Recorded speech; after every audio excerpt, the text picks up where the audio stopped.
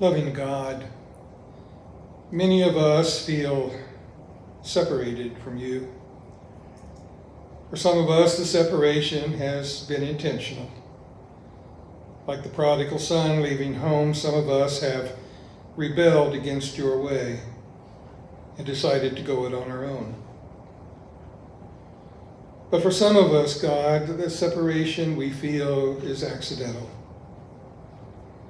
Like the woman's lost coin, we feel bumped out of place by experiences in our life. Or we bumped into the wrong people and ended up going in the wrong way. For some of us, God, the separation is our own fault. We simply went astray.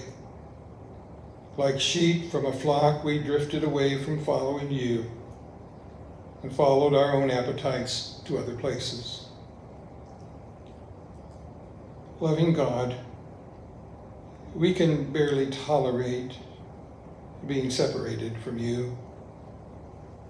We need to be where you intend us to be. And so it is, O oh God, that we give thanks that you never stopped looking for us. We're grateful that you've never stopped loving us. As a father looks for a lost son or a shepherd for a lost sheep or a woman for a lost coin, so have you continually searched for us, longing to bring us back into your presence. So thank you, God. Thank you for refusing to stay separated from us. We lift our prayer this evening, O God, in the name of the one who placed this prayer upon our lips. Our Father, who art in heaven, hallowed be thy name. Thy kingdom come, thy will be done, on earth as it is in heaven. Give us this day our daily bread, and forgive us our sins, as we forgive those who sin against us. And lead us not into temptation, but deliver us from evil. For thine is the kingdom, and the power, and the glory forever. Amen.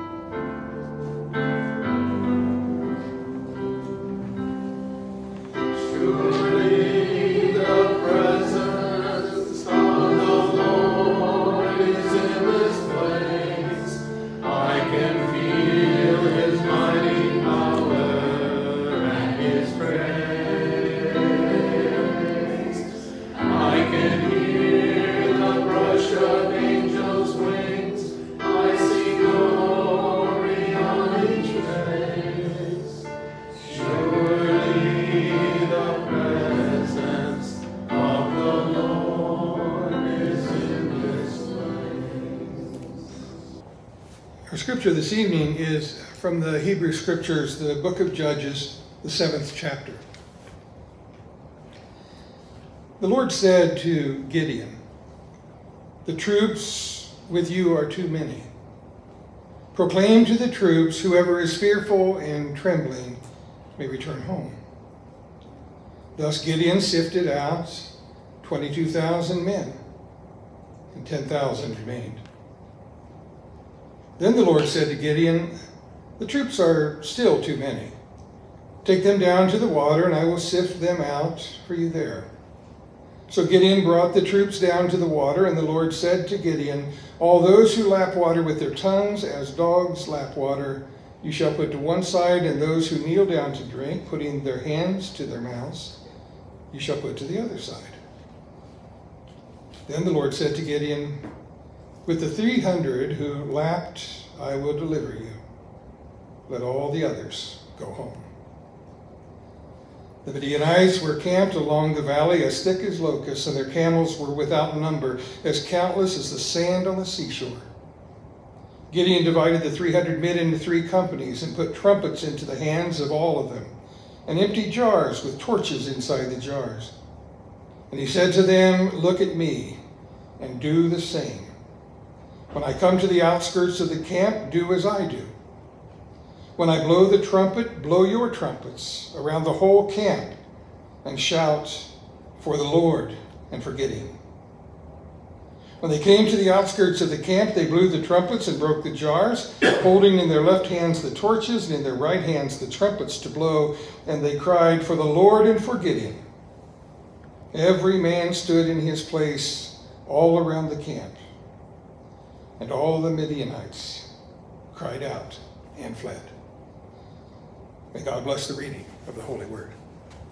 Almost all of us recognize that Gideon is a character from the Old Testament. Um, but most of us really don't know Gideon's story. And since it's a story that I think has a lot of um, insight into our relationship with God, I wanted to share the story with you this evening. And um, to put it in its proper context, its historical context, we need to realize that um, when, when our people escaped from being slaves in Egypt and they crossed into the wilderness, they followed God in the wilderness for 40 years.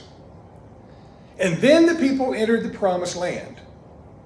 Now, they are in the promised land for 40 years when this passage of Scripture takes place.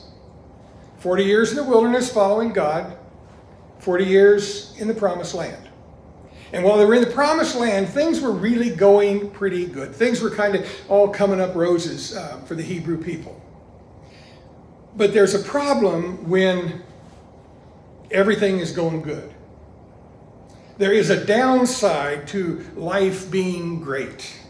And the downside to life being great is that we become seen, we begin seeing ourselves as self-sufficient, as independent, as strong, and able to do anything we need to do. And after almost 40 years there in the promised land, the Hebrews, the Israelite people, began thinking of themselves as pretty good stuff.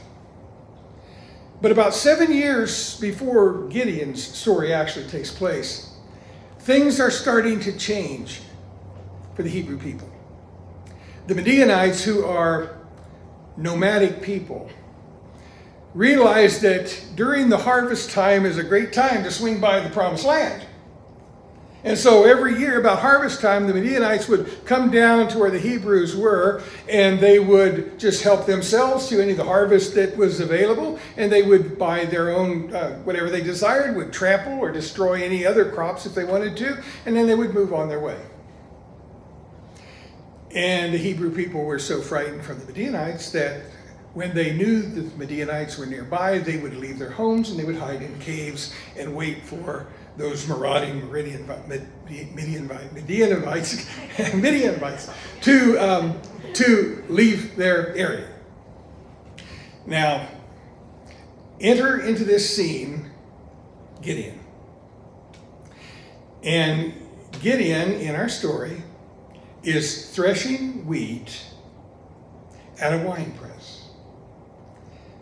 That doesn't ring any alarms for most of us because most of us are not farmers and most of us have never tried to thresh wheat. But in that day and age, the way that a person would thresh wheat is they would they would gather it all up out in the open in a, in a windy area and they would throw it up into the air and the wind would blow the chaff away and the grain would fall to the ground. Great system. But Gideon is not out there doing that. He's down in a valley hiding by a wine press where there is no wind, where there's very little sun, trying to thresh the wheat. Why? Obviously, because he doesn't want the Midianites to see him. And so he's down there trying to get his grain separated from the chaff. And God enters the scene, and God, in God's own humorous, sacrilegious, sarcastic way, greets him by saying, Hail, O mighty warrior. and Gideon lets them know, lets God know, I'm not a mighty warrior, which God already knew. And he says to God, in fact, he said, you know, our people are not even a nation yet. And if we were a nation, we'd be the weakest of the nations. My family is not even a family of any account within our people, and I'm the youngest, weakest member of my family, so don't calling me a mighty warrior. And God's response is, uh, Gideon, I want you to, I want you to call all of the men who can fight to come and to protect us from those of Midian. And so, Gideon is a little nervous about that, so he says to himself, you know, this may not really be God. This may be a figment of my imagination.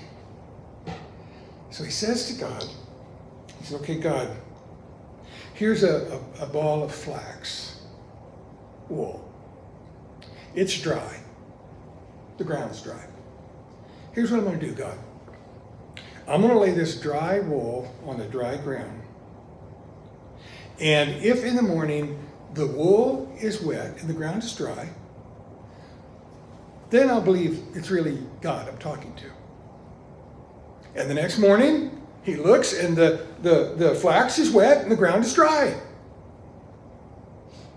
And so Gideon said, okay, well, let's, let's try this. Uh, tomorrow night, what I'm going to do is I'm going to lay some wool down on the ground like that, that are both dry. And if when I wake up, the, the, the, the flax is wet and, and or the, the flax is dry and the ground is wet, then I'm going to know it's you, really. So the next morning, that's exactly the way it was. And so Gideon has no choice but to call the other warriors. He calls for all the warriors, all the people who are willing to fight from Israel to come and to join him. And 32,000 men come to help fight. Sounds like a good deal, but the Midianites are 135,000 warriors. Pretty outnumbered. And God, who is probably tired of Gideon testing him, decides that God's going to test Gideon. And so God says to Gideon, do this. Go to your men and tell them, any of them that are really afraid, uh, to just go on home. And so Gideon, great military leader, says to his, to his soldiers, if any of you are really afraid, why don't you just go on home? And 22,000 of them pack up their stuff and leave. And so he's stuck with now 10,000 people to go up against 135,000. And God says, I think you still got too many people. God says, and this is the strangest thing test I think God's ever given to people. God says, tell your men to all go down by the water and get something to drink. But when they go down there, I want you to watch your men and see how they take the drink. Because he said, some of the men are going to reach down with their hands and take water and put it up to their mouth. Some of the men are going to get on their hands and knees and try to lap up the water like dogs lap up water. 10,000 men go down and only 300, not real bright guys, get down on their hands and knees and try to drink the water with their tongues. And God says, That's my army. And so he has Gideon take those 300 men and he says, Okay, we're going to go into battle now. And you can almost see Gideon's mind trying, trying to work, okay, we're going to need ourselves some, uh, some swords, we're going to need some clubs, we're going to need this. And God says, Here's, here are the weapons I want you to use. Give every man a trumpet. Give every man a torch. And each of them get a jar. and God has each of them put the torch lit in a jar. And they've got the torch lit in a jar in their left hand, and they've got their trumpet in their right hand. And he has those 300 men surround the Midianites. And at the time that he has ordered, he has them all blow their trumpets. It's right after midnight. They blow their trumpets, and then they smash the jars, which allows the enemy to see their torches. And the sound of the trumpets and the sound of the busting jars, and now the light of the torches scares the bejeebers out of the enemy, and they all tuck tail and run. That's a pretty good story. And I'm sure this story's gotten embellished a little bit over the years. but what hasn't, I think, been embellished over the years is that this is the way God works. This is God's MO. God always chooses unlikely people. God calls Gideon, a farmer, to become a soldier. God calls Peter to be a fisherman. God calls people that are not equipped for what they're called to do. And the people that God calls are always confused and always wonder why God calls them. Abraham had the question How can I father a nation if I can't even father a son? And Moses, how can I convince Pharaoh when my own family can't understand my words? And Mary, how can I give birth to a Messiah when I'm a virgin? That's how God works. That's God's MO. God doesn't call those who are equipped, God calls those who are available. God calls people who will take direction, not who will take credit. And I think the most beautiful part of this whole story is that after, after the, the battle that never happened is, is won, the people of Israel ask Gideon to be their ruler. They say, We want you to be our ruler. We want your son and your grandson to rule when you're gone. And Gideon's response We are not your rulers. God is your ruler. He didn't want the credit. The credit went to God. Now, you know, there's a phrase we always we hear a lot about. Always be kind. Everybody's fighting a hard battle. Kind of playing off of that a little bit. Um, I don't know what battles different people in this room are fighting. And most of them not battles probably, but it's it's it's burdens. It's it's uh, difficult times. Uh, they may be emotional burdens or medical burdens or whatever. But we all are facing things that are difficult.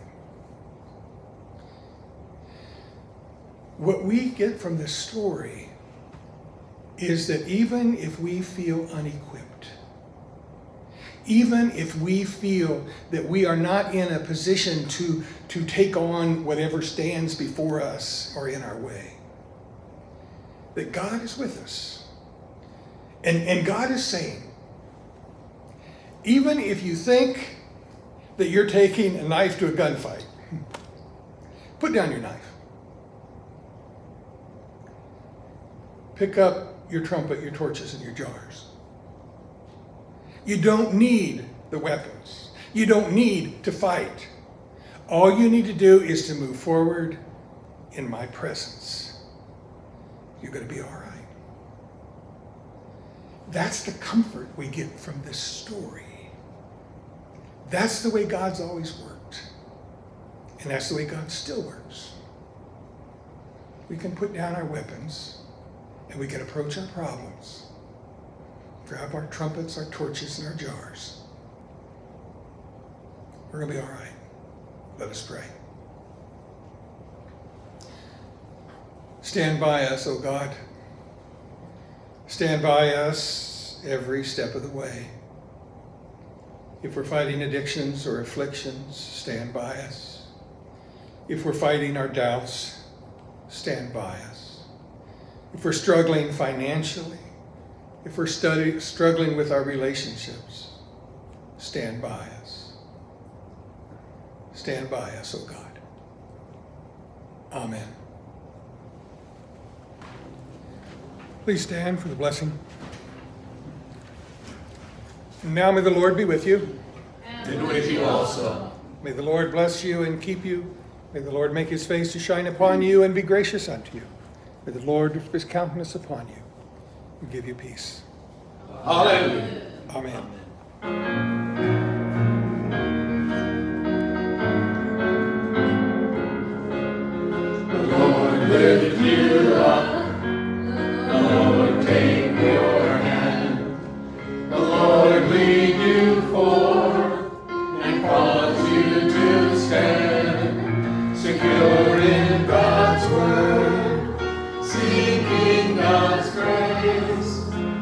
abounding